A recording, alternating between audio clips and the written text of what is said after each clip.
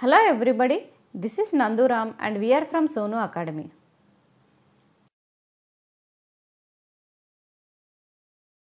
Natural fibers. These are comes from the nature. Example cotton, silk, wool, etc. Cotton comes from cotton plant. We use cotton in summer season. They absorb sweat and keep our body cool. Silk is also a natural fiber which comes from silkworm called cocoon. We wear silk clothes in rainy season. It gives a special appearance. They do not absorb water so clothes can dry without the sunlight. Wool is also a natural fiber. Wool cloths are made from woolen.